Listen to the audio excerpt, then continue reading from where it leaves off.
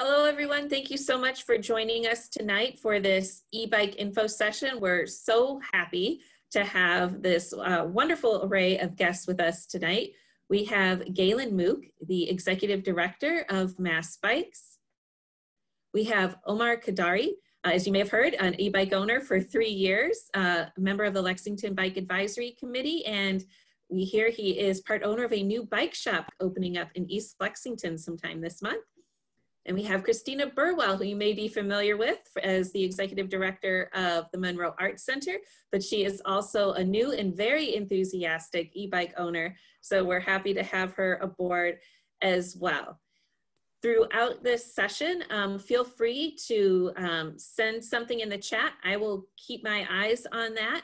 And um, you can also raise your hand and we'll make sure that there's time at the end um, for Q&A.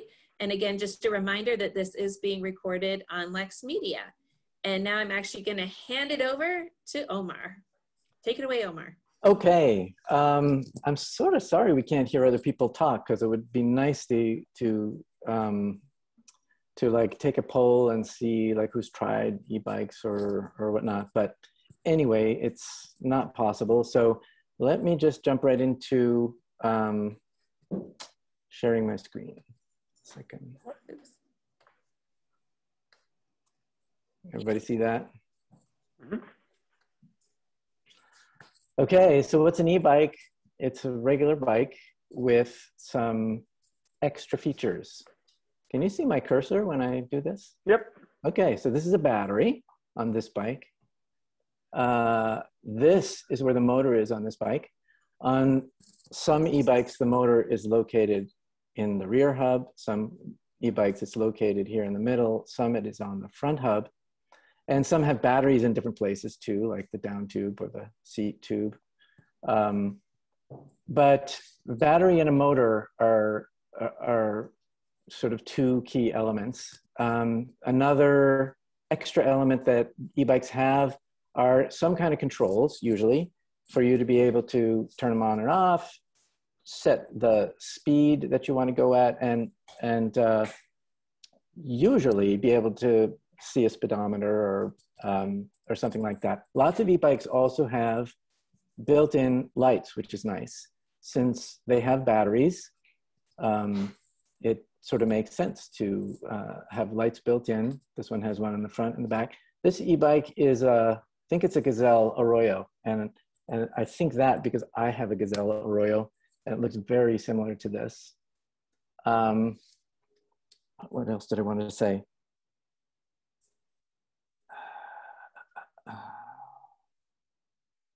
Okay, pedal assist versus hand throttle. Some e-bikes also have a throttle that you can control with your hand and that will make it go, kind of like a motorcycle. But almost all e-bikes have pedal assist. Actually, there are some, some e-bikes that don't have pedal assist. And what pedal assist is, is that as you, as you turn your feet on the pedals, as you crank the pedals, the motor kicks in, regardless of whether the motor is here or in the back or in the front, it'll kick in when you're pedaling and start to assist you as you pedal. So it, it adds some, it adds some energy. So I'm gonna uh, just jump in um, yeah. for a minute because before I did this, I had I had no idea what an, an e-bike was really. I just thought it had a motor and it went, and so I had all these apprehensions about how you controlled that. Um, and I realized that if I'm not pedaling, the motor isn't going. I also I'm not a motorbike user, so I had no idea what a throttle was, and I realized that the throttle is that at least on my bike, it's that little lever that if you need the oomph to get up the hill, you just press that and then it gives the oomph. And that's regardless of whether you're pedaling or not. You call it a throttle, I call it a oomph. Okay. Okay. Not all e-bikes have that oomph. Mine doesn't. It, it, the only way to get the motor to help you is to pedal on my bike. But, um, and I think Galen is going to talk to us a little bit later about the different categories of e-bikes because some categories might have a throttle or might not. Some some don't. But um, yeah, there are a lot of different kinds of e-bikes. I was going to mention the power, but maybe I'll go to the next slide. Hang on. Uh, built-in lights. Oh, sensors. So um, most e-bikes have sensors that tell how fast you're pedaling, and they uh, use that information to control the motor. Um, the more you want, you're pedaling, the more oomph it gives you. Um, some e-bikes also have a torque sensor, which measures how hard you're pressing the pedals, not how fast you're pressing the pedals. And um, that's sort of like an extra feature that that uh, that happens on more expensive models. And the reason is it it's um, it's more equipment, it's more sensors, it's more sort of computer uh, uh, computing required, but um, it can create a very natural sort of feeling effect as you as you push your feet on the pedals. The harder you push, the harder the motor helps you. So I just wanted to mention that. Um, one thing I forgot to mention is the grin on this lady's face. Christina, can you? I giggle when I ride my bike now. I do. Well, I've got a little bell now, so that helps. Um, so, you know, people say that you have to find joy in your life. And, you know, you get to this age and you think, well, what is joy? What do I find fun? Like really fun? Um, you know, you'd like to have a, a glass of wine on the porch, which is nice, but it's not fun. And I gotta say, riding my bike has been fun. Like the wind does not thwart me. And I've ridden every day this week, which wasn't a particularly nice week. And many days I looked like I was going to my lobster boat instead of work. But um, so you ride your bike to work, Christina? I ride my bike to work. It takes me nine minutes by car, and it takes no, it takes me six minutes by car, and it takes me nine minutes on my bike. So I there's just no reason not to take my bike. You dress well, and it's fine and it's i gotta say it's fun. Like i'm not i have a very low threshold for discomfort and um there's nothing. The, the the hills don't bother me. The wind doesn't bother me. It's fun. I'm with you christina. I i have the exact same feeling. I'm glad you mentioned clothing i want to get to clothing maybe in the tips section later so i'm trying and remember to talk about that because um uh, to me, to me, clothing is, is key. I wanted to move on to talk about power. This particular bike, as I said, is a Gazelle Arroyo. It's a 250 watt motor, this motor down here. Um, 250 watts is a third of a horsepower. And it is pretty common for e-bikes in Europe because anything above 200, and this bike, by the way, is made in the Netherlands. It's made by um, Gazelle, which is a Dutch company. Um, in Europe, if the bike does not have a hand throttle, it's only pedal assist, and it's 250 watts or less, there are no regulations. It's basically regulated exactly as if it were a conventional bike. It can go where conventional bikes go. It can park where conventional bikes park uh, it is for, for legal purposes just the conventional bike. So the vast majority of bikes in Europe, e-bikes in Europe are, are about that amount of power. I'm gonna change the slide to talk about power. One horsepower is 750 watts. This is picture of a, of a horse actually helping out with uh, with the bike. And uh, in the U.S., Galen, help me out here. In the U.S., 750 watts is the maximum that you can have, and still call it an e-bike. Isn't that right? Yeah, it's up to 750 is a federal guideline based federal on consumer protection, um, and what 30 something other states have defined, but not Massachusetts. So I'll get into that when we get into it. And right. But yeah, right. standard is 750 um, for manufacturers for the most part. I think even in Massachusetts, um, the federal government has some guidelines about what you can call an e-bike. It's not about where you can use it or how you regulate it or anything like that, but it's about selling it. Isn't that right, Galen, or not? Yeah, it's it's the consumer protection law that we have um, right now. What we're trying to work on, which I'll get to shortly in the presentation, is uh, defining this in Massachusetts so then we could regulate where they can and can't be ridden. But right now, you can go and buy, based on the consumer protection law, a e-bike up to 750 watts. Although mm-hmm to Omar's point, most are well under that. Um, and the point of having the wattage as a limit, it, it's a way of limiting the size of the machine. So you can have a lighter bike with uh, wattage, which could make it go faster. So the way that we limit e-bikes in terms of speed, miles per hour, as well as in terms of wattage, which de facto is a limit on the weight. That's how we got around saying like, well, you couldn't have like a 700 pound bicycle um, with a you know multiple thousand watt engine that only goes 20 miles an hour. But if it's if it's that, then we're not trying to make that an e-bike because that would just mm-hmm. kind of be another device altogether. So the wattage is important because it also limits the, uh, the, the size of the bicycle. And you can think of this as important when you're thinking of cargo bikes versus um, standard pedal bikes, um, tag along bikes, tandems. The, the various sizes adds a different weight. Yeah, I haven't seen a lot of 750 watt e-bikes, but I've seen a lot of 500 watt e-bikes. And my first e-bike was a 500 watt e-bike, and that was pretty peppy. Um, really went uphill, like you know, you hardly had to try.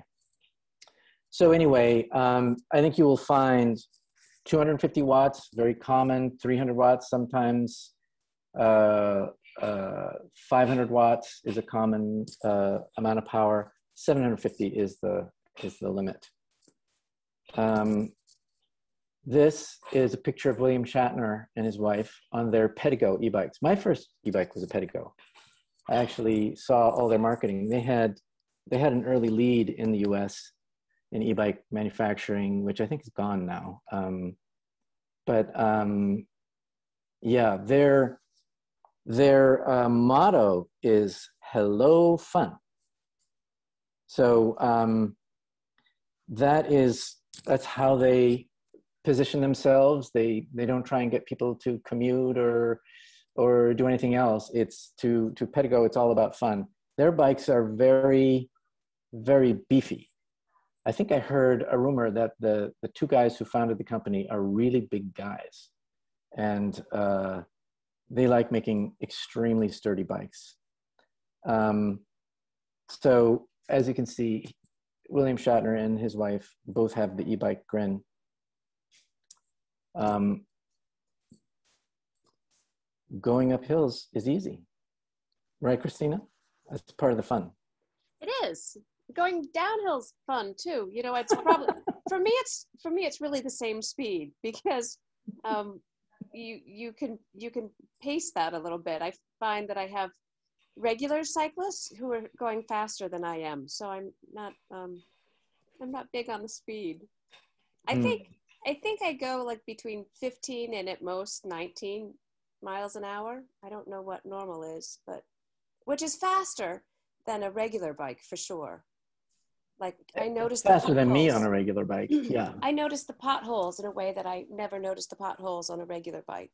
Can I interject something? Yes. So I am not an e-bike owner, but I have ridden one um, only in the version of the Lime bikes that we used to have in the mm-hmm. community. Mm-hmm. And the first time I tried it, I was terrified because I thought when I heard electric bike, I thought, oh no, it's just gonna like take off, you know, and I am I yeah, ready so all too. that power behind me. And those are pedal assist. And I realized it, it wasn't scary at all. I just put my pedals on and it just made it easier. And yes, getting up those hills was was definitely a lot easier. So that, that's all I have to add. I think one of the things that I was concerned about is um, not how fast you go, but how well you can stop, right? And and that's one of the things that I was pleasantly surprised about because you have total control. It's like any regular bike. You know, you stop pedaling, the motor stops. You put your hand on the brake, the bike stops. So yeah, um, actually, a lot of e-bikes have pretty darn good brakes. A lot of them come equipped with um, hydraulic brakes, which are much easier to to stop with. You know, it takes very little hand force.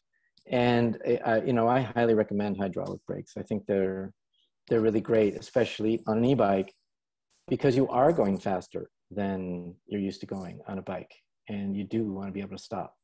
Um, so, um, not all e-bikes have hydraulic brakes, however. The, these two bikes here are converted con conventional bikes. They have the Copenhagen wheel, um, that red giant hub on the back. It's an integrated battery and motor and computer. Um, I don't even know how it works. I think they're about, I think they're 300 watt, it's a 300 watt motor. Um, and I think it's a Massachusetts company. Um, could be wrong about that, but I know they have an office somewhere around here. Yeah, it was a project out. Sorry to interrupt. It was a project out of MIT's Media Lab, I think, mm. that kind of spurred this. And then they, um, they call themselves Super Pedestrian as their right. um, branding. You can look them up. But I think they're, to be honest, this is a whole other presentation. But they might be getting into the scooter space these days. Uh, oh. Um, but I know we're not even going to touch that today. So right, right. I'll I'll leave it at that. Right. So um, this is an example of converting a conventional bike to an e-bike, which is also something that you can do. Um, I have read that you have to be very careful about that um, because a lot of regular bikes really aren't designed to go 20 miles an hour. And, you know, uh, some conversions actually the, I saw a guy on a conversion who did have a 750 watt motor and he he could go pretty darn fast on his bike but it was a conversion again most e-bikes that are designed as e-bikes are designed with very very beefy components because nobody really cares about the weight or as you don't care as much about the weight as you do on a conventional bike. And even down to things like the spokes of the wheels are a little bit thicker than you would find on a similar conventional bike. And all the the metal parts the i don't know what they're all called but um, bikes do take a greater beating when you ride them faster and um, so you do need to just be aware of that and know what you're doing if you're going to do a conversion um, and again the brakes for example you want to make sure you have darn good brakes yeah i might i might caution you here omar so uh, sorry to jump in, but I, sure. I did work five years before this in the advocacy world. I was in the in the bike industry world, and one of the challenges that we face, especially in the e-bike sphere, is the low-end box store bikes mm. um, that are purchased from Walmart or Target or Costco, which are not built by a professional bike builder. They're built by whomever is the lowest wage employee, um, and you know it, we, we cringe a little bit sometimes when you see somebody bring a bike into a bike store when the fork is reversed or the brakes are put on backwards um, or something very obvious is, is happening. So if you are ever going to convert a bike or think even about purchasing a bike, even from a box store, I don't want to dissuade anybody from buying a lower end bike because I think price ranges vary and that's fine, but make sure it's checked out by a professional mechanic um, who can do the test because what we would hate to have happen is you try to convert a very low end bike that has componentry that is not suited for the, the weight, the speed, and the torque that comes with electric conversion. And that's why folks like Omar are starting a bike shop so that you can have kind of a professional backing to this. Because um, we, we are in this kind of gray area where you can purchase a low end bike um, and then you can purchase a converted kit and then you can kind of combine one and two and it might not actually be safe. So it's, in my opinion, very important to remind folks that, um, you know, professional mechanics exist for a reason. So I'll, I'll, step back, but thanks for letting me jump in. Oh, no problem, Galen. Thank you so much for making that pitch and doing my bidding. The check will be in the mail, you know, for, for plugging. We're not getting paid for this, don't worry. This is, Um, okay, uh, uh, I wanted to talk about pros and cons of e-bikes versus conventional bikes. Um, Christina, you and I talked about this, about the cargo carrying capacity. This is a picture. Well, you know, I'll, I'll jump, I'll jump in sure. even before that because I felt that when it was recommended to me to check out an e-bike, that it was an extravagance. Um, and so for me, the con was that it was it cost more, and I I should just make do with my bike that I bartered for that um, was hard to get up the hills and and I should be satisfied and fine with that and that's what I should get to work and that's what I had been getting to work. And so I think I've overcome that con because it is I feel like I'm doing something not only good for the environment but I I I am you know saving costs with fuel and the smells along the route, route to work in the summertime are wonderful. But I think it was a con for me just to get over the hurdle of the expense, which is not that it's that much. It doesn't have to be that much, but that was something I had to push past just psychologically. It is an issue. The, the, e-bikes are more expensive than regular bikes. So yeah. Um, what I was uh, hoping to say about this picture, it's a picture of uh, uh, a young woman somewhere in Europe with uh, her Ortlieb pannier over her shoulder, which I found to be a ubiquitous sight. Everywhere in Europe, you see young people with their Ortlieb panniers. They, they, they detach from the bike or they attach back to the bike and they they um, are carried everywhere and seen everywhere. Um, they're very useful. They're a great idea for any bike, but for an e-bike, it's a no-brainer because you know you can carry stuff and it doesn't um, it doesn't feel like it's weighing you down because you got the help um, pedaling, even if you got bags full of groceries on the back of your bike. So, um, trick question here. What's wrong with this picture? It is obviously somewhere in Europe. Christina, Galen, Susan, the others can't speak. What's wrong with this picture? She's got a helmet. Nobody has a helmet in Europe. Oh, that was a trick question. I'm. I gotta. I gotta say, we we are we are full helmet supporters at Mass Bike. So yes, um, yes. You know, when you're overseas, that's up to you. But yeah, um, I, I know. I know that you will include helmets on all your test rides. Um, absolutely, absolutely. A big well, helmet supporter. I, hopefully, this generation feels the same way. But it's kind of like you feel naked if you don't have one on a bike. You know, the same way that you wouldn't consider wearing a not having a seatbelt in a car. Yeah, yeah. So this is a cargo bike. It's a Tern, I believe. Um, it's a cargo e-bike. Not all cargo bikes are electrified, but this one is. It's another picture. This one is in Amsterdam, actually. That's why the guy's not wearing a helmet. Um, but um, as you can see, it has a sort of extra large uh, cargo rack on the back. So not only can he carry really big panniers, but um, uh, a bunch more stuff besides. Cargo bikes are becoming extremely popular, and they're they're very useful. It's the for the same reason that SUVs are so popular in the U.S. Um, you can just carry more stuff. This is another type of cargo bike. This one is a Yuba, Yuba Supermarché. And this uh, mom has a child seat on the back, a cargo box in the front with the dog and the and the luggage. Um, this picture reminded me of the film Motherload, which I haven't seen and I'm dying to see. See if anybody has a chance to see it. It's a very interesting documentary film about the trend of moms on cargo bikes. This is a again an e-bike.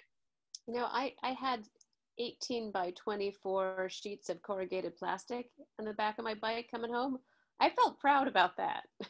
Wow. that's nothing by comparison. I want to see that. I want to see you riding with your good bungee cord. so, um, Christina, you mentioned saving fuel. Uh, I have some stats on this, and um, can't remember where I got these, but a regular bike, of course, is free. Um, and someone even once told me that even the energy that humans, uh, like the food that you eat, is free because of what's called the calorie paradox. Have you heard of this, Galen? That um, as you exercise, you become more fit and your, your body burns more efficiently. So um, the, you, you aren't just, you aren't costing more. You're not eating more food to get yourself around on a bike. If I could um, add to that too, Omar, the, the benefits, the health benefits of preventative exercise um, far outweigh, you know, the the necessity of, you know, high blood pressure or something much more detrimental down the line. And I think we all agree that we spend a lot of time in sedentary positions these days. That the enormous benefits of just getting out and pedaling, um, if it's a low stress environment, by gosh, like that pays far dividends to society as a whole just by keeping people healthy. Um, hard to quantify because we don't have a system of American healthcare that really values that like it necessarily should. But you should know that if you get out and get some cardio every single day, you are going to save yourself. I mean, not just your life, but you will save yourself a ton of money down the line. So I, I was there. surprised. I was surprised a little bit about that too, because I do feel that I am getting cardio on my e-bike, which isn't something that you would expect. That you change, at least on my bike, you could you press a lever to have the amount of pedal assist that you have going, and so I feel that I am pushing as hard as I want to push, and and I am getting a workout. I mean, I can feel my heart as though it's really pumping. Mm-hmm. Well, you need the I, core strength to stay balanced at the very least. um, otherwise, you just tip right over. So there is there is a lot of muscles and, and all that going on. And it's it's good adrenaline, um, it's good blood flow, it's good stress when you're out there biking on a bike path in the woods. I agree with Christina. I, I feel like I get exercise as well on my e-bike, and it's kind of this weird um, what's the word? Um, I can't think of the word. Irony? Maybe not. Um, the the fact that it's fun and and seems easy and seems fun. You feel like you know like superhuman uh, well i was going to say superhuman as you as you're pedaling and that gives you a big grin and you feel fun. Um, you would think that you would not be um, getting a lot of exercise but there's this weird psychological phenomenon that as I'm pedaling the pedals, I, I sort of automatically, um, I automatically exert a certain amount of energy. You just can't, you just can't like spin your feet without, without any trying. You have to push a little bit and being asked to push even a little bit makes you push at a, at a sort of at a comfortable rate for you to be pushing and that comfortable rate is enough to give you um, quite a bit of exercise. So, um, but back to back to how great this is for your carbon footprint. E-bikes. So fuel cost, I think, is is a good proxy for carbon footprint because um, you can't compare apples to apples with every type of vehicle and every type of transportation, but but you can compare dollars of, of fuel cost, and that will roughly equate to how much um, uh, fossil fuels you're you're using. Electric cars, 3.3 cents per mile, and e-bikes less than 0.2 cents. So you so if you right now are feeling so virtuous because you're driving around Lexington in your Tesla, imagine how you would feel driving around Lexington on your e-bike because you'll be way holier than thou then. And this is a this is a good car, a high high mileage car, 6.2 cents per mile. Buses, ouch. You would think buses would compare really favorably with cars, but this is per passenger mile. And apparently buses go around with very few passengers on average. And uh, the, um, the average per passenger mile is 9.5 cents. So doesn't even compare very well with a, with a good mileage car. Do you have to add a little thing in there, Omar, just to catch up. Uh, this is not an anti-bus session. Um, no, true. Everybody should be out there walking, biking, and if you can't and busing, take a bus. It's a much better option than hopping Sorry about that. car. It's also better for cyclists because the less cars on the road, the more comfortable it's going to be for the cyclist. So just got to make that little interjection there. Okay. And you know, I took the bus. Um, I've been 25 years, and I took the bus for the first time. Darn, it was convenient. Mm-hmm. It really was. Oh, I have I have teenagers now, so I, I find myself on these modes of transportation. Anyway, these are not my stats. I can't remember where I got them. Average automobile, 13 cents. Obviously bad. Taxi Uber, 33 cents a mile. Look how that compares. Really bad because they drive around empty. They drive around, you know, not, not taking passengers all the time. So e-bikes, really good for your carbon footprint. Now, this is a study that goes to that question of whether e-bikes, riding an e-bike actually gives you any exercise. They took 20 volunteers, not a huge sample size, sedentary people who didn't get any exercise. They gave them free e-bikes. They asked them to ride at work at least three times a week for a month. And all of these subjects were chosen so that they had at least a 20 minute bike ride each way to work. They put sensors on them so uh, they were able to measure that while riding, their heart rates were pretty, pretty high, comparable to a brisk walk or an easy jog. So for 20 minutes, they had a nice little cardio workout at the end of the month, they had all kinds of statistics about how much fitter they were. And they also had fun. We mentioned that before. Most of them rode more than the minimum requirement, and several participants bought e bikes after the study ended. So let's talk about some cons. Um, Christina, you've already mentioned cost they're expensive.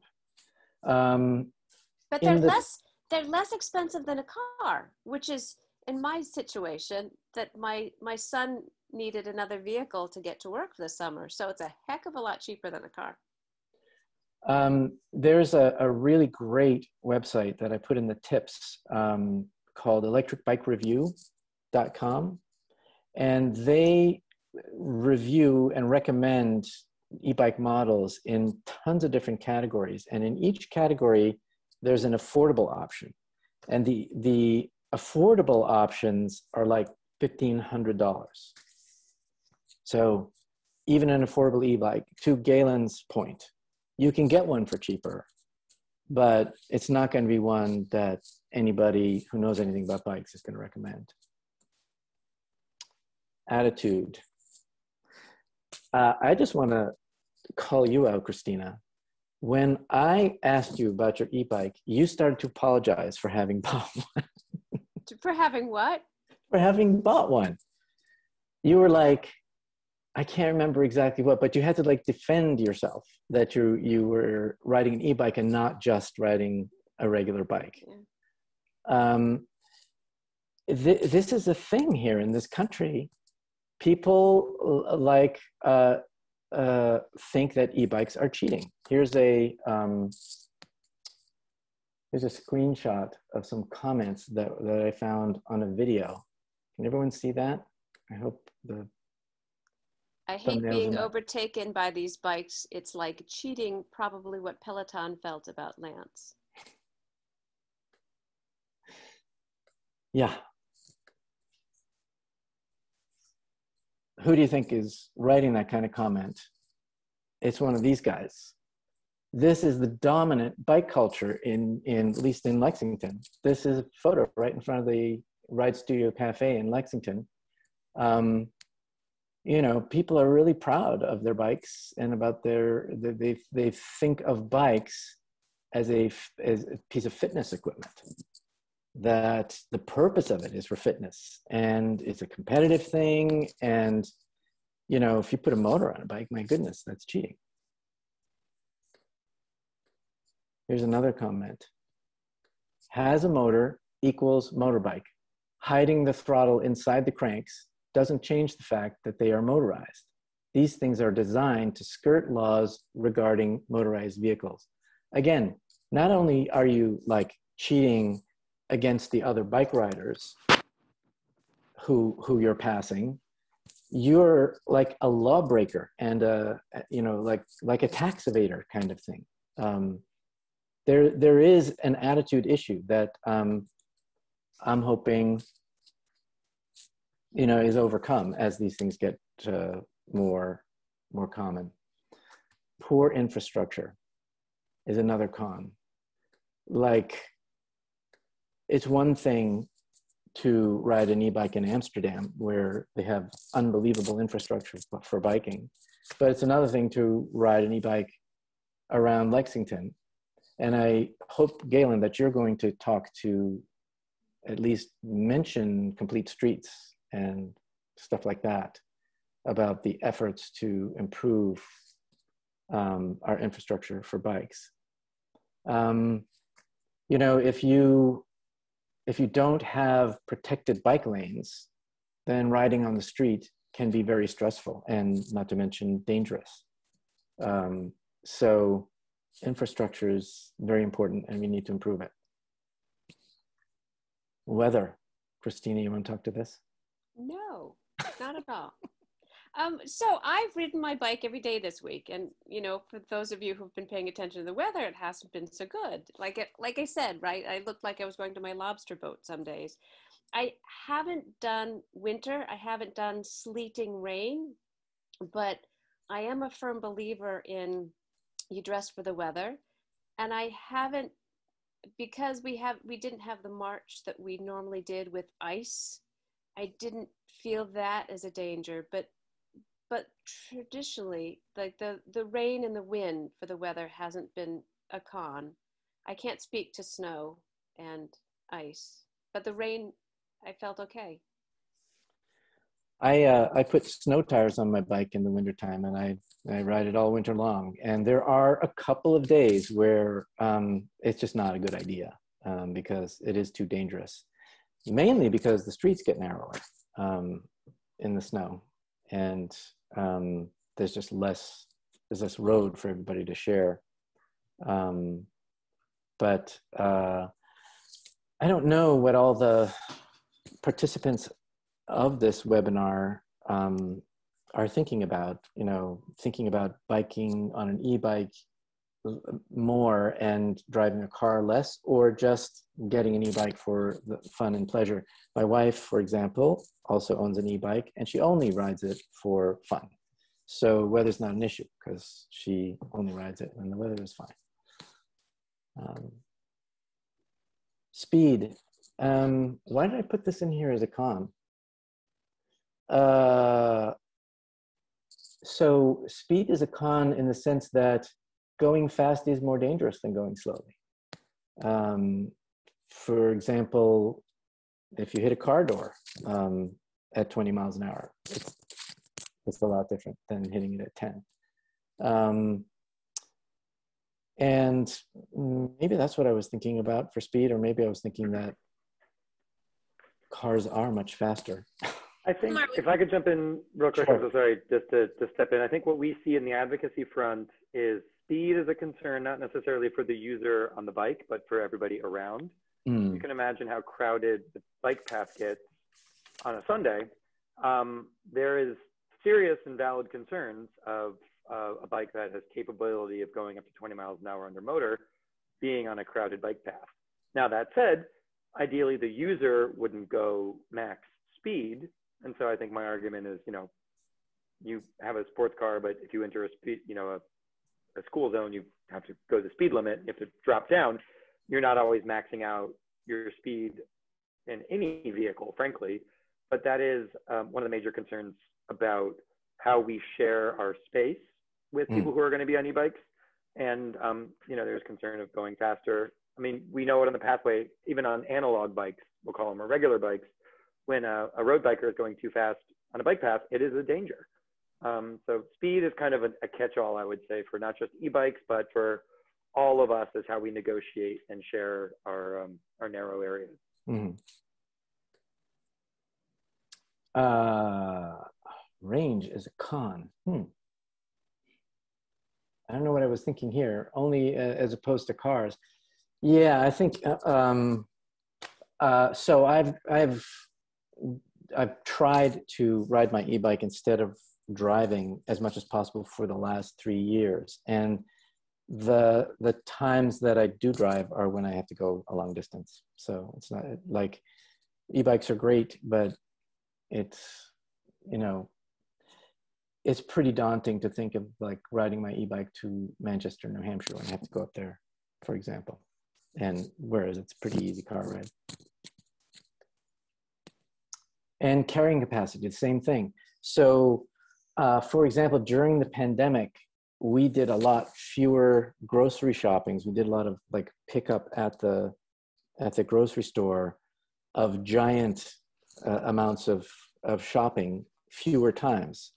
Normally, I go quite often on my bike, but I didn't want to be in the grocery store. So when you have a giant amount of groceries, unless you have a cargo bike, um, it's not as convenient as having a car.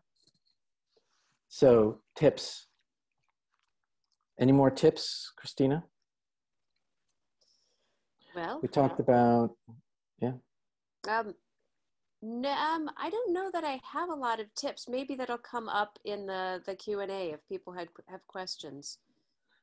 um, one tip I had again was the um, electric bike review website. Here's a shop, a shot of the website. I can't, I can't say enough about this site.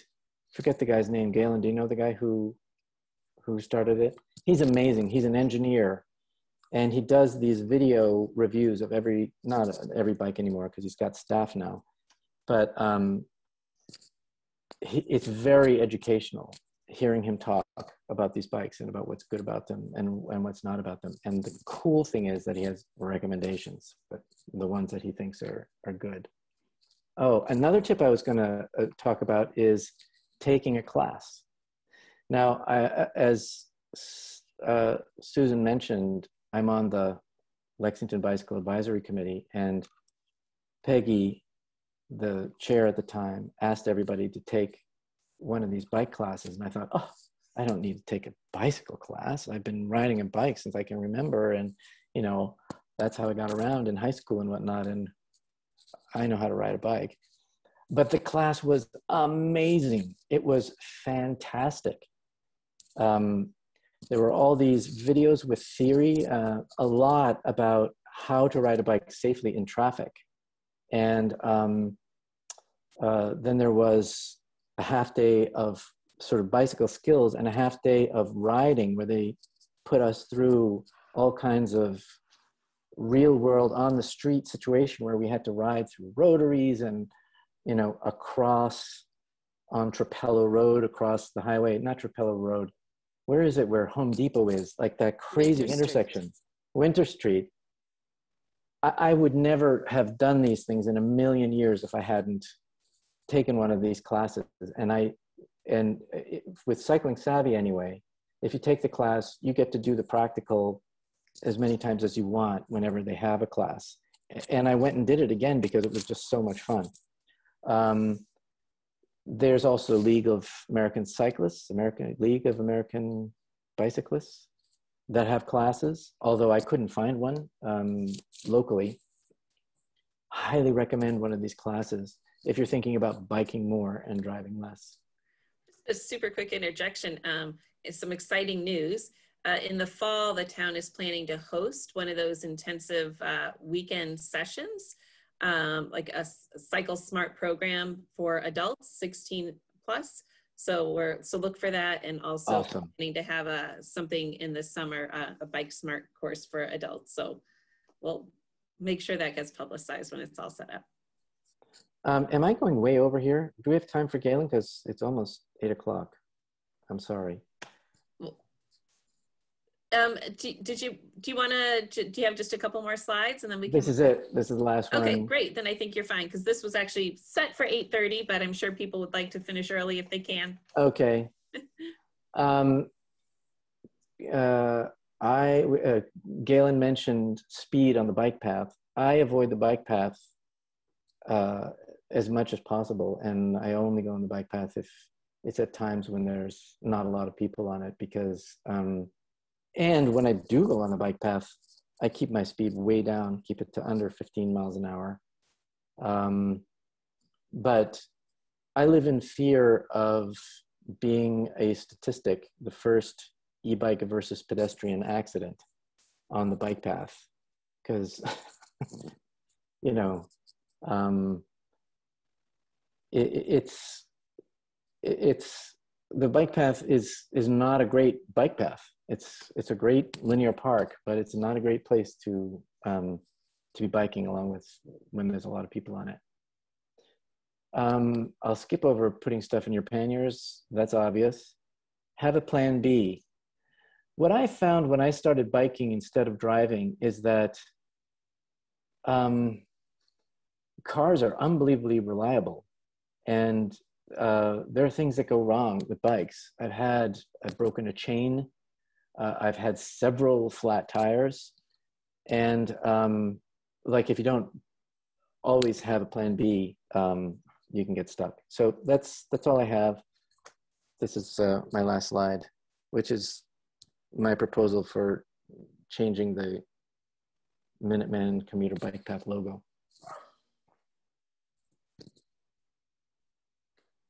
Great. Well, thank you, Omar. Appreciate that.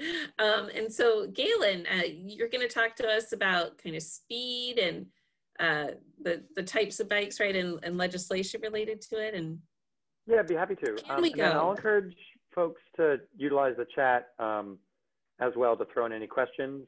So, um, you know, we're not getting too much in there, but this is hopefully geared for what folks are interested in. And, you know, we're going to be around for another 20, 30 minutes of, of content. So please let's make sure we're catering to what folks want to know.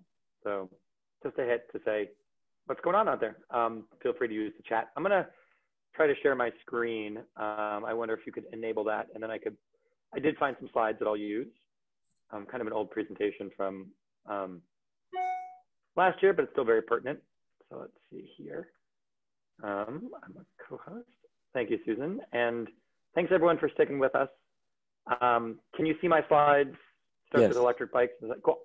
So I'll just keep it in this mode just to keep it simple. Um, not to go over the same stuff that Omar did, but I'll jump into a few highlights as to where MassBike stands on the issue. So we are the statewide bike advocacy organization, which focuses on legislation and policy and funding, kind of the broader picture stuff. Um, a little bit less so on the bike itself, but definitely on the process that makes bike riding possible. So a lot of what we're doing right now with e-bikes is well, one, we need to define what they are because right now they live in this gray area between bicycles and mopeds, and there's no real definition to follow uh, what the consumer protection laws from the feds are. So we want to be able to do that. And then from that, we want to have regulations to follow. So once we know what we're talking about, then we need to be able to regulate them sensibly. Um, the trouble is, working statewide, I know this uh, intensely, is that we have 351 cities and towns, which means that they're potentially could be 351 ways to define an e-bike, which is bad because you want to make sure the bike you're riding in Lexington is the same definition as the bike you're going to be riding in Arlington and in Cambridge and all the rest. Um, added to that, Minuteman is a jurisdictional pathway. So what Lexington decides, Lexington gets. But the Charles River Pathway, for instance, is a Department of Conservation and Recreation. That's a state agency. So we need to make sure that the state agencies are also speaking the same language of what these devices are, along with the municipalities, along with what's being sold at the shops. So there's a lot of convolution right now. So one of the things MassBike is really working on is defining what these are in Massachusetts statute so that we at least are speaking the same terms. After that's done, or maybe simultaneously, because things happen in process, um, we're also working on incentives to make bike riding easier, um, not just e-bikes, but all bike riding. Um, they make it safer. So it's the infrastructure behind it, it's the um, enforcement around the regulations, and it's the incentivization if you're going to be riding these as commuter. So I'll get into some of that briefly in my presentation here. Um, obviously, this, this presentation I should preface was actually used for a Mass DOT presentation. So um, a little geared towards planners, but um, I'm trying to convince people why they should care about e-bikes. Easy to convince everyone here and Christina and Omar and Susan. They're all very interested because it's happening in the town and the city um, that they're, they're riding through. But why is this a statewide concern? Well, one, Massachusetts uh, has far too much congestion. We have one of the worst traffic um, patterns in the entire country, and it's just going to come right back after COVID, unfortunately. Um, and secondly, our greenhouse gas emissions, 40% of the greenhouse gas emissions in our state come from the transportation sector. One more time, 40% of all the greenhouse gases are coming from transportation. We have the power to change that. And e-bikes are part of that equation. So are electric buses, um, so are, you know, taking the T, all that sort of stuff, it all plays into itself, but e-bikes really could be the next big thing. Um, also a growing industry. Sorry for my jumble of words down there. I realize that I'm in my Google mode, so it's not coming through. But the point of this slide is that e-bike sales are on the rise. And even this, this is um, two years old. This is actually from 2019. Um, so the data I have for this is only for 2018. But I was doing some research uh, prior and found out that e-bike sales have gone up 500% in the past three years. 500%. That's huge. And we all know that we're in a bike boom. We all know that bike shops can barely keep bikes in stock and e-bikes are flying off the shelves. But this is a concern because we don't really know what they are statewide. So how can we really define what they are?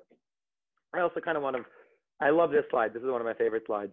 Um, we call this an emerging technology. That was the reason I was brought on to give this presentation back to MassDOT. And I was like, e-bikes have been emerging since the 1890s.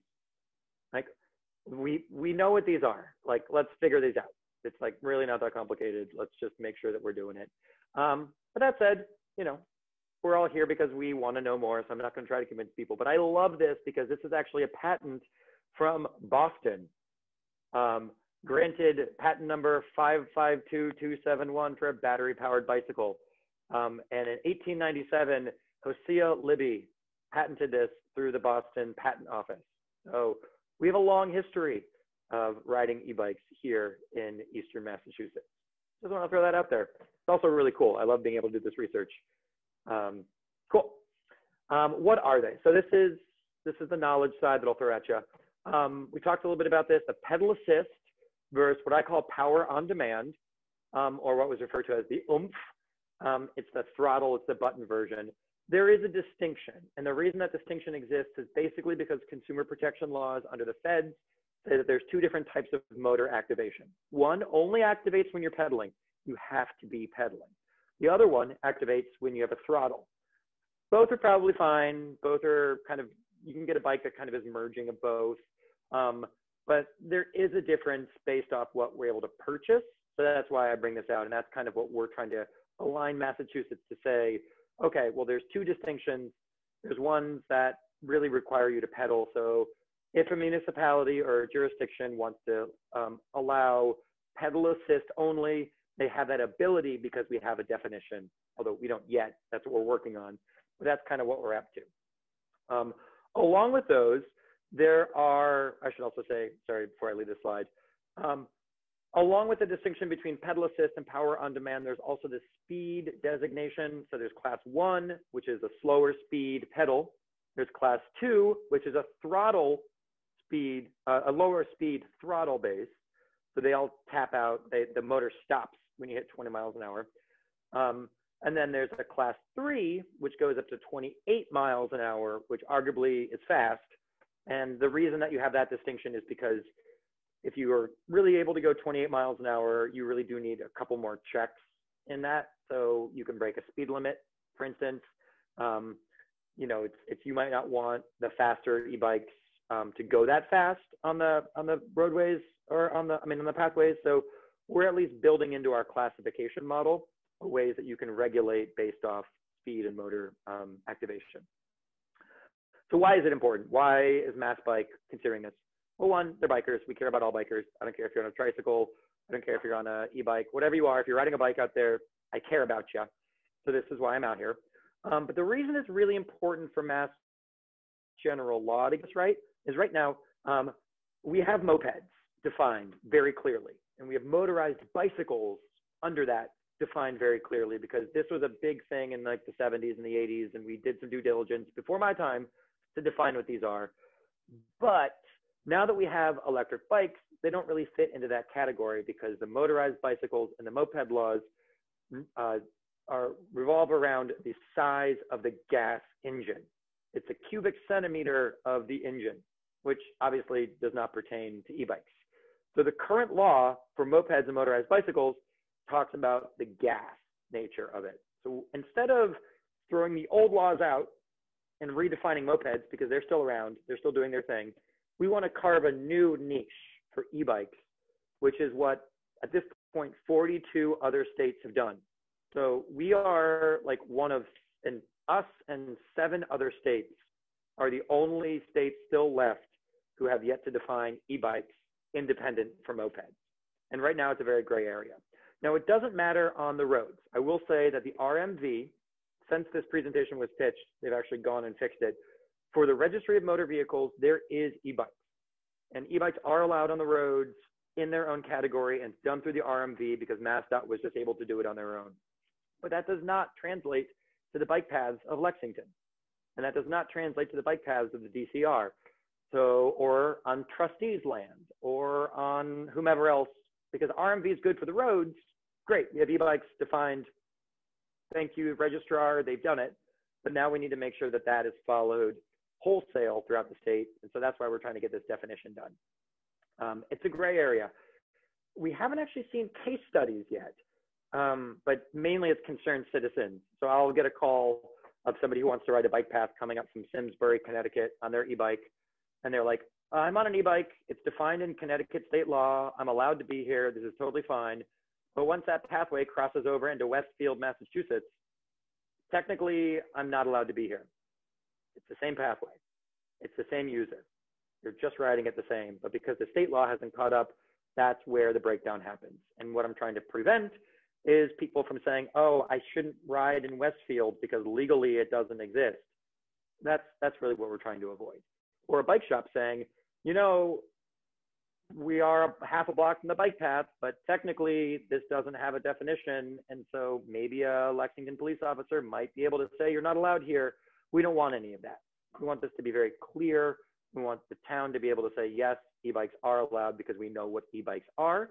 And then what Lexington says also is the same as what Arlington will say, is the same as what Bedford will say. And this is why it's kind of, it, it, in my opinion, it's like a nuance, which is just, it's, I'm making it more complicated than it needs to be because I have to make it into a law, which is a little bit of editorializing. So um, with that, um, this is the definition. I kind of went through this already, but basically what Omar was talking about too, 750 watts, top speed of 20 miles an hour. We want them to be considered bicycles and not motor vehicles. We want them to be able to have the same rights and responsibilities as bicycle riders, which we have very good laws at what a bicycle rider must do.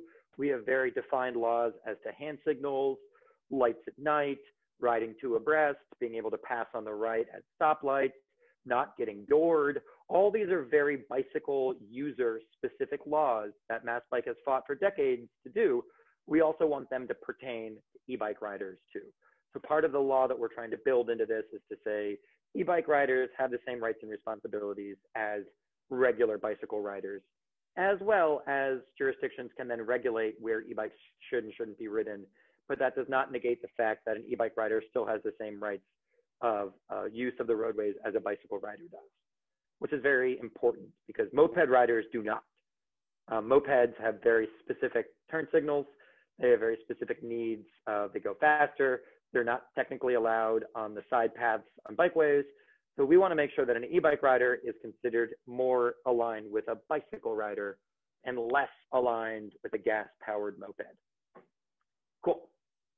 This is a snapshot of Oh, please, yeah, jump in. Sorry, I just had a quick question on your last slide. It mentioned something about the weight of a person, so 170 pounds. I was just curious why that is. So, so if you're 180 pounds or or more. Good uh, question. Um, this was put into place back in 2004, and I think based off, I'm, I'm kind of stealing a little bit from the lobbying perspective. So I was like, what documents did they really base this off of when they put this into federal law? And the argument that the, the industry had for 20 miles an hour is the maximum for the wattage, and that's, that's kind of how they combine the weight. And this is what I meant to say earlier about by limiting the wattage, you can limit essentially the weight of the device. Um, and that's an important way of saying, you know, we want to say an e-bike can go 20 miles an hour, but we don't want it to say like a 40 pound e-bike can go 20 miles an hour. So the way that we get around that is basically saying the wattage of the engine, of the motor, I should say. The wattage of the motor de facto regulates the weight. And um, they just did by arguably like a rule of thumb here of 170 pound person going a maximum speed, yada yada, is typically 70, 50 watts. But I'm actually finding that, to be honest, 750 is probably a lot. Um, you can get away with 500 watts, no problem for most bikes. But the reason that we want 750 up there is because cargo bikes are important to, to keep in mind. Um, and you know, we don't want them to go fast. We don't want them to be dangerous, but we want to be able to have these basically replace the minivan. Um, and you see these around. You see like five or six kids in a bucket bike riding on the bike path. It's like, oh, well, that's great because that's one less minivan out there, and it's, it's it's totally within the realm. It should be a bicycle. So that's the kind of the, the category we're trying to catch. And I should also say that all of this is still in conversation. These are processes that need to go through the State House, which need to go through the Transportation Committee. There will be opportunities for the general public to chime in. So if you're interested in weighing in, um, the Transportation Committee, uh, pay attention to MassBike, massbike.org, sign up for our mailing list. We'll let you know when these are actually going to go to committee. Um, so, you know, we, we've got laws we need to pass um, and there is a public process to do that. Um, this is a little bit out of date um, for the most part. New, now New York has the three-class law, um, but besides that, we are like one of seven states of the whole union who does not define e-bikes, um, and that's a problem. That that means that we're like well behind the curve. That said, we can kind of watch what other states are doing and say what's working and what's not working, so we actually can probably build a better law. So I'm I'm kind of appreciative from my perspective as an advocate. I can kind of look at the mistakes of Maine. For instance, Maine built their law in 2019 that would uh, prohibit any sort of e mountain bikes on natural surface trails based off the concerns of conservationists and, and park users and mountain bikers, which is a valid concern. But now, because they built a prohibition in statute, they need to now put a new law in to say actually, we went a little too far in 2019. We need to rewrite the law and say it's actually up to the land manager as to whether or not e-bikes should or shouldn't be used. But because they went ahead and built the law prohibiting it, they need to now build another law, which would then change the original law that they just passed two years ago to make it a more neutral language. So we're seeing that as a, a, a cautionary tale and saying, well, in Massachusetts, let's just build the law that we want outright and not think like, oh, let's get whatever we can pass and then we'll work it later. That's not a good way to build uh, um, legislation. So we're seeing, um, for instance, I can get to it shortly. If anybody is concerned about e-mountain biking, what MassBike is proposing is that that comes down to the individual land managers to say what is and isn't allowed. Totally saying that mass that e-bikes could not be allowed, and they have the full right to say no, but they're not starting with a no they're starting with a, well, let's designate whether or not a trail should or shouldn't be, which is how mountain biking access is done currently. Um, there is no blanket mountain bike access throughout the state. But then again, there's no blanket prohibition on mountain biking throughout the state either. So if you're looking at something like the Fells as a DCR park, there are certain trails that are designated for mountain biking, certain trails where they're prohibited. That's what we're proposing is done for e-mountain bikes as well. Sorry for the tangent, but it does get complicated. Um, and then here's a little bit about our um, an act relative to electric bicycles. This is the classification model that we're trying to propose, which is great because it follows the federal guidelines. Um, and we're still leaving regulations up to the local jurisdictions. So Lexington can regulate e-bikes, no question. we're suggesting that instead of saying class one's allowed and class two's not allowed or whatever they come to, that you actually base it off of speed and usage because there can be class three riders who are riding slowly and somebody who might have a class three bicycle because it's the model that they chose because it fits their needs or their ability level. We don't want to necessarily say all class threes are bad. Again, like I have a Maserati, but I can still go less than 20 miles an hour in a speed zone. I don't have a Maserati, but if I did have a Maserati, but that's kind of the option. Like you don't want to say, okay, a road biker who can easily go above 20 miles an hour on a bike path, you can't ride that road bike on the pathway. You can only ride your hybrid bike. That's that's not sensible regulation. We're trying to say, you know, it really does come down to the need of the space, not necessarily the device, but it comes down to the user. But that said, the law that we're trying to pass doesn't necessarily regulate that based off the classes. It basically says these three classes are considered to be bicycles, and then you can regulate still based off the user and based off the, the speed and recklessness. You can still have full regulatory powers. But what we're trying to do again is get it out of the moped category and get out of the motorized bike category. Um, I'll kind of take a pause. I think the rest of my presentation is a little bit more along the lines of what Omar was talking about. Who's riding? Why are they riding? A lot of older adults, a lot of families, a lot of cargo, um, and then who's not riding.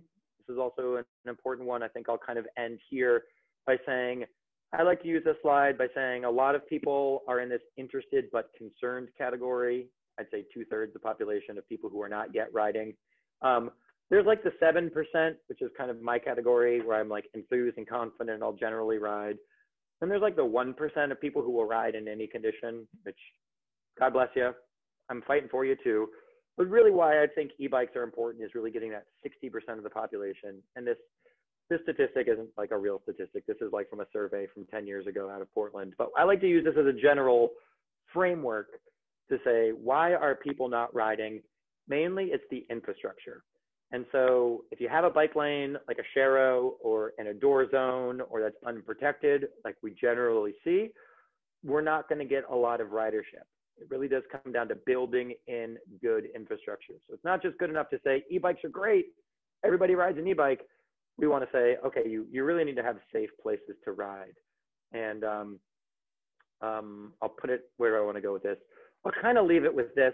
Um, this is a snapshot of the Mass Trails network, of the Landline network, the uh, trail network. You can kind of see it's a little hard, but my cursor will kind of get in the greater Boston area. We have a lot of these wiggled lines, which, you know, we've got the Minuteman that goes out here that can connect up. Where's the Minuteman? I'm trying to find it. Um, I'm going to guess based off my, yep, Minuteman can come out here, and then you have like the Reformatory Path um, that comes down through Bedford. Then you might have the, the Bedford narrow gauge. Um, that will connect eventually to the Mass Central Rail Trail through Weston and Wayland, which will connect out to the Norwottuck Rail Trail, which will connect up to the Farmington Rail Trail. And we're talking hundreds and hundreds of miles of interconnected pathways. Um, part of this is the East Coast Greenway, which is all the way from Maine down to Key West, Florida. It's like 70% of the way done of off-street trails, a lot of which go through Massachusetts the ideal that we're trying to build to is what we're trying to get here on the on the right. This is in Vassar Street by MIT in Cambridge. Off-street pathways, protected infrastructure. That's the real way to get the people who are interested but concerned. And then e-bikes, you know, are a way to say to Omar's point of riding farther, riding over hills, riding if you're going to commute and don't want to get sweaty. The idea of having, if we really do build out our trails network, my vision is really to have this like interconnected super highway of bicycle commuters, of which a big proponent and component and proof of pudding is the Minuteman. And the Minuteman is one of the best used commuter pathways in the entire country. And what we're seeing is the Minuteman is the gold standard that we're trying to get others to follow, knowing that the Minuteman itself is probably too narrow for all the uses that are on it. Um, and so how can we actually look, what's Minuteman 2.0? Um, Minuteman might need lighting. Minuteman definitely needs plowing. The Minuteman might need some widening. Because what we're really trying to get at, and again, maybe I'll go back to my original slide of why do we care about this. we have to fix our congestion problem. We're never going to build more roads in this Commonwealth. We need to we need to find other ways of getting people around. And our biggest existential crisis right now is climate change. So what are we going to do? We need to promote e-bikes. So my last last hit, I'll stop sharing, and I got one more thing to talk about. Um, legislation-wise, this uh, of the three bills that we are promoting, um, we have the definition bill, which is an act um, relative to electric bicycles. Then we have an act relative to bike commuting, which would give you, if you are a commuter, um, the ability to have your employer give you pre-tax monies to pay for your bike repairs, your bike share passes, your e-bikes. I think it's up to $750 per year that can come pre-tax, similar to your parking benefit and your MBTA benefit. And then one of the ones I'm really excited about, um, props to Rep Blais out in um, the hill, hill towns of the Berkshire East area. She's really big on e-bikes because they do not have good transit and they have a lot of hills and they have a lot of rural communities that are far apart. So she's got this, an act relative to bicycle rebates. It's H3262. What this bill would do, it would give rebates either at point of sale or reimbursed from the state as part of the electric vehicle program. And it's up to, if the bill goes through, it's up to $500 back on your e-bike purchase or up to 750 or if you're a low or moderate income purchaser or up to 40%, which is amazing. And imagine the equity conversation. Imagine let's normalize e-bikes and make it more accessible and more affordable for people to ditch their car because we know that the car and car ownership is a ball and chain for poverty. Let's get people out of that mentality by actually helping them pay for e-bikes. And this is similar to the electric vehicle conversation, electric vehicle conversation right now under the EV rebate program, which is under the EEA, which the state already has. It's geared towards lowering greenhouse emissions. E-bikes are that exact benefit just the same. So I'm going to ask everybody here to contact your local state rep and say, hey, I'm a big fan of H3262, and Rep Blais is a champion of this bill. And hey, bike shops like Omar's, it's great because you're going to sell more bikes because people are going to be able to afford them. And this is just a win win win. Like nobody loses with this bill. Less cars on the road, fewer cars on the road, less congestion. More people riding e bikes, better for the environment, better for health, better for equity because they're more affordable so more moderate and low income people can ride them. And by the way, e-bikes are great and they're fun, and so it just brings more people into the cycling community. And so little things like this is what Mass Bike's job is. We try to find little nuances to work our angles. Again, we do legislation, we do policy work, we do the funding. And you know, my benefit of being able to address you here is to say, please help us out.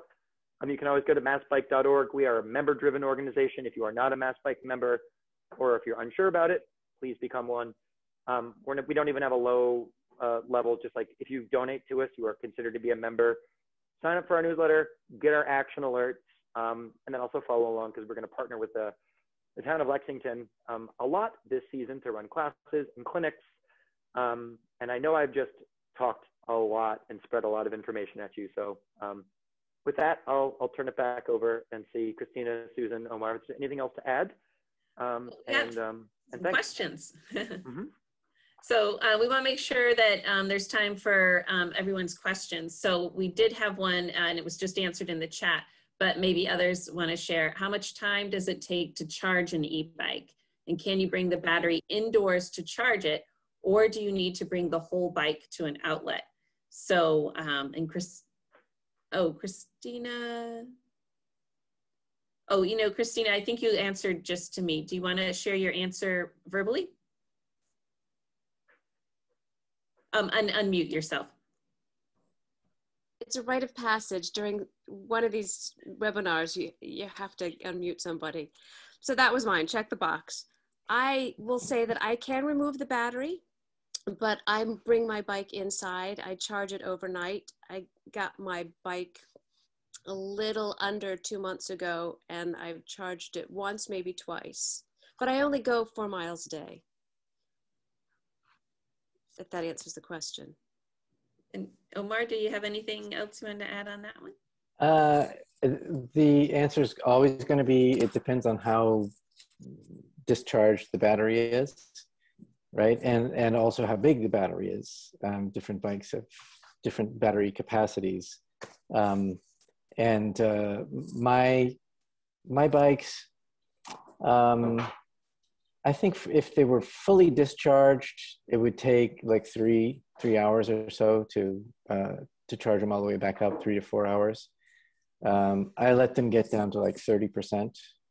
And I don't charge them all the way either because they're lithium ion batteries and they don't like to be fully charged. If they're stored fully charged for too long, it, um, it eventually will decrease the battery life, just like a um, laptop or a cell phone. Great, thank you. Um, and see, we have another, are there any locations nearby where you can rent an e-bike to try it? Um, oh, there's got to be. The Lime bikes, which that's how I tried it. It was a lot of fun. Um, Galen, do you have an answer for that one? Sorry, I didn't see it. Let me just pop the chat. Um, oh, it was um, any place to rent. Oh, rent an e-bike. Um, Good question. Um, I don't know. I'm a, I've, I've been a couple years out of the industry, so I'm not entirely sure. Um, well, it's the wrong it's the wrong thing for me to say, but like I've got a parking lot behind where I work. So like if you want to come and ride my bike, bring your own helmet and you know try it around the parking lot. Mm-hmm. I'm at the Arts Center downtown. So 1403 Mass Ave. You can just let me know if you want to try mine around the parking lot. There you go. Yeah, I'll, I'll, do a quick Google and see if I can find something in the next 10 minutes. Uh, that's what I'm trying to do now. mm-hmm. I'm pretty sure there's a company in Boston that does tours and they do bike rentals and they e-bikes are an option. Yeah, I think I found Urban Adventurers. I'll throw this chat. Um, I'll throw this in the chat. Um, and um, I'm not advocating one way or another if you should rent from them, but they are a option for you and they're out in the north end. Oh, I just sent it to the panelists. Let me send this to everybody. Thank you. Panelists and attendees. So, so, Battle Battle Road Bikes, which will be at 145 Mass Ave, Lexington, will rent e-bikes when it it opens up, but it's not open yet. So. Mm-hmm. Um, and I should say, legislation-wise, just because I'm on that kick, the National Park Service has allowed e-bikes um, to be considered bicycles. So that matters to you in Lexington because you have a big old national park. Um, so can't ride recklessly, you can't ride dangerously, you're still under the same limitations of being a safe bicycle rider. But um, because NPS is its own jurisdiction, um, riding on Battle Road on an e-bike is actually defined, whereas riding on an DCR trail is still the gray area we're trying to fix. But um, national parks, Bureau of Land Management, and Army Corps have um, basically adopted the three class model for electric bicycles. I have a question. Is there anything special you do related to the maintenance hmm. that's different than a regular bike? So we learn, you know, we always do the, you know, ABCs of, of bike maintenance, you know, air, brakes, chain. What are there different ABCs? I mean, obviously you want air in your tires, you want to check your brakes, but is there anything different that you do well, yeah, you got to charge the battery. Yeah. Okay. Um, I um, I've had e-bikes for three years, and I've never had to service any of the parts that are, you know, not regular bike parts. Tires had to service, the chain, you know, but but never had to service uh, any of the electric bike components. How about you, there, Christina? There are new bike tires that are out too that, that don't go flat, right? Yeah, and you can also put that goop inside uh, that will stop it. That's what I did on the Pedego. I got a lot of flats on the Pedego. I'm not saying anything. how about weight? I'm just curious how the weight compa generally compares of these versus a standard bike. so mine is probably one of the bottom of the line um, in terms of affordability, but it has a little button so that you can, um, it goes into walk mode and it assists you walking it up the hill, which is getting out of my garage. Um, so it is heavier.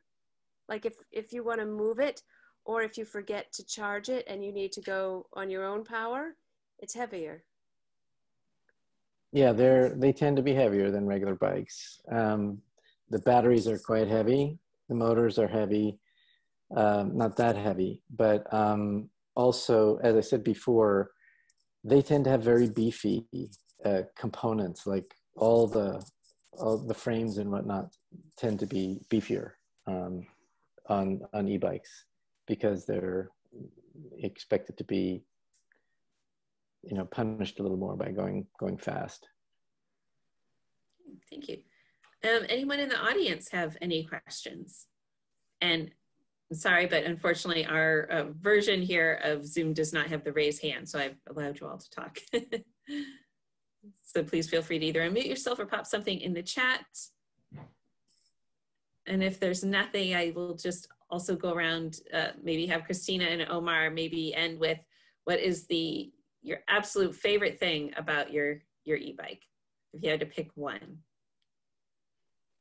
um, i've well one of the things i haven't said is that for my birthday i went out and i got a little bell so it goes ding ding ding it's really fun but i also bought a mirror because i feel much more comfortable i think because in the speed you in the same way that with the car that you want to check your rear view mirror not you you know I look and when i'm ready to turn but just being aware of what's behind me is useful.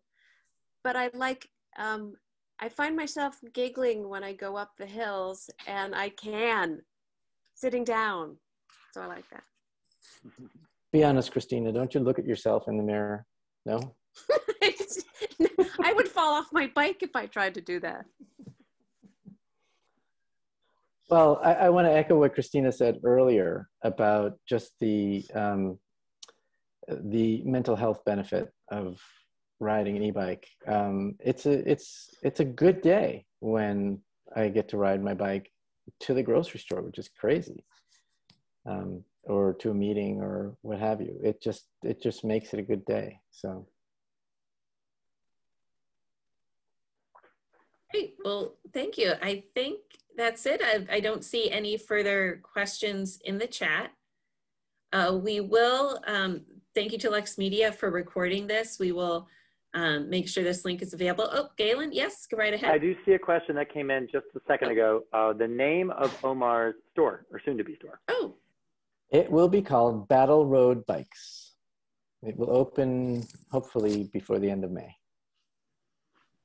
Great. And we're talking about I, the address was in East Lexington near Wicked Bagels. Yes, 145 Mass Ave. Okay, great.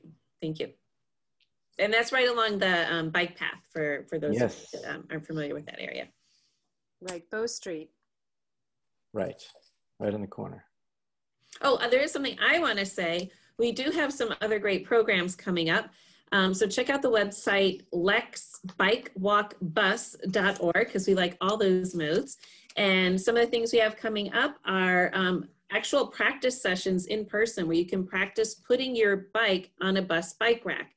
Because if you can combine the two modes, if you have to go, you know, far, you, maybe you work in Charlestown or somewhere like that, it's a great way to um, get yourself comfortable with whether or not you um, feel comfortable putting your bike on a bike bus rack. So we have a couple of those sessions coming up. We also have a bike flat tire clinic that will be in person, but it'll be small, COVID safe, outdoors by resident um, Lexingtonian and bike mechanic Jim Cadenhead. And um, and then oh, the one thing I'm really excited about, and we're doing this with Galen, um, and, and then a Lexington resident, we're having an info session on how to become a certified bike instructor. We would love to see more certified bike instructors in our community because um, as Omar had mentioned earlier, those cycling classes can be really great and help build our confidence in riding. So, um, so take a look at that, lexbikewalkbus.org. And thank you so much for everyone's time. And we'll get back to you with a link for this program. Thank you.